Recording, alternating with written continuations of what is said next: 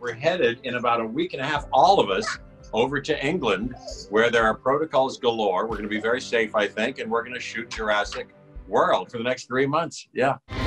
What kind of protocols are there going to be in place? They- They gave us 109 pages. They've invested all their heart and soul and uh, a lot of money into making sure that we're safe. A reported $5 million is being spent on safety, including COVID testing for the actors three times a week.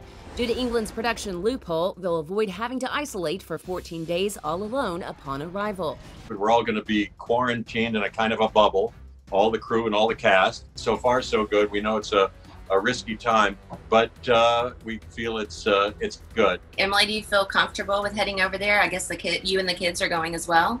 Yeah, we're going. Otherwise, we wouldn't see Jeff for three and a half months. I felt like we would be safer being in just like a small bubble and not having any sort of like temptation to like get out. Here is your dose of cuteness for today. Yeah, check it out as my Zoom with Jeff Goldblum and Bernadette Peters turns into a total pet party, right, Spike? Now, the two are helping find homes for furry friends with the 22nd annual Broadway Barks Across America, which streams tomorrow. This is Emily, my wife. There's Ch- here's Charlie, and Charlie. Here's Woody. Can you see Woody? Here we go. Oh, there's Woody. Buddy, you Oh, oh, a poodle. Poodles are the best. What's this?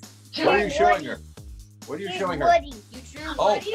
Woody and me. I'm walking him on the leash. Oh, Oh. my gosh, that is beautiful. Rachel, here's Rosalie.